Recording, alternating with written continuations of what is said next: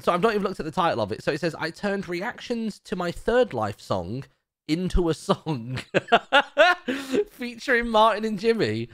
Right, okay. Uh let's do it. I'll tell you what, let me full screen this bad boy. Here we go. I'm ready for it.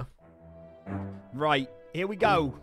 So this is another song that's been made by somebody uh, called Evil Anvil. Featuring all third lifers. Wait, Uh-huh. you mean featuring our voices? I don't know whether they're responsible for the other songs I've seen. They take vocal snippets of the third life SMP. Nice. Oh my gosh. Wait, this has a lot of views. It's already rhyming. You know it's a good one. If Lizzie approves. Nice. Oh my gosh. That's insane. This tickles every part of my little lizard brain. I love the creativity of making the lyrics rhyme. But within the song, they have a storyline. Nice. Oh my gosh. That's insane. Cool. This tickles every part of my, little lizard brain. Very cool music video for the most part. It annoys me. Why are people smart? And I'm not. That's such a good drop.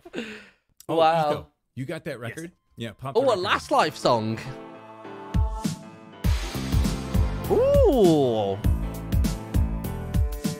Even like this instrumental's a bop.